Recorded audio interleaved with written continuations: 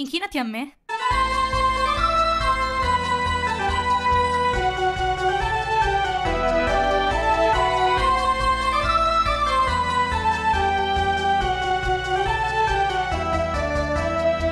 C'era una volta in un luogo lontano un regno malvagio che tutti temevano.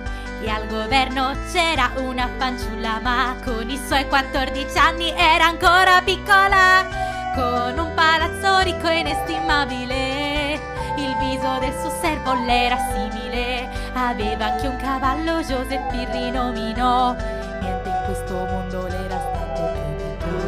Se non c'erano risorse per il popolo, non era di sicuro un problema suo, nessuno ebbe il coraggio di opporsi però, sapendo ciò che avrebbe fatto.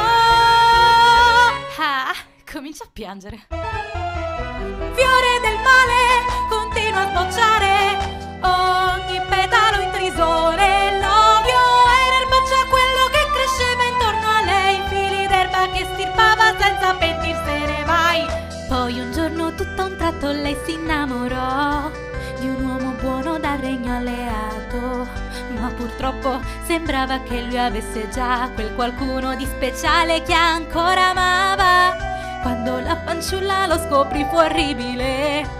Il suo fidato servo richiamò a sé e con voce fredda e pacata gli ordinò: Vai da quella donna e portale via tutto. Molte case arse senza minima pietà e tante vite in questo modo andate via, ma nemmeno un grido arrivò al suo cuore,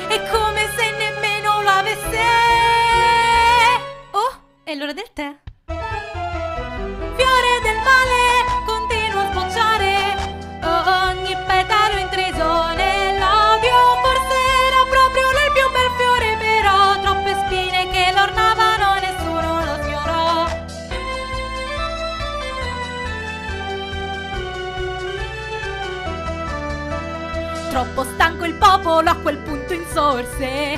Una ribellione fu la prima parte. A guidare il tutto era una donna che era stanca di patire e di non combattere. L'odio che si era accumulato da tempo esplose all'improvviso in tutto il regno. E quando la guerra nacque non aveva chance. La vittoria al popolo e le. Anche il suo palazzo presero così. I servi andarono in fretta via da lì. Ma la principessa sola era fragile e prenderla non fu che semplice. Ehi, che irrispettoso!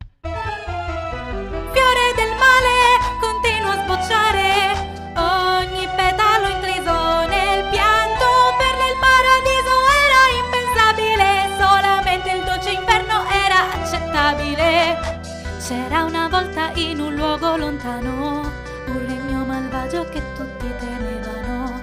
E al governo c'era una fanciulla, ma con i suoi 14 anni era ancora piccola. L'ora del giudizio fu fissata per le tre. Ogni secondo che aspettava era orribile. E pensare che un tempo aveva tutto, Dopo tanta attesa quel momento arrivò e le campane ecco ritoccarono. Lei guardò nel pubblico cercando qualcuno e disse ciò che era rivolto a te. Oh, è l'ora del tè.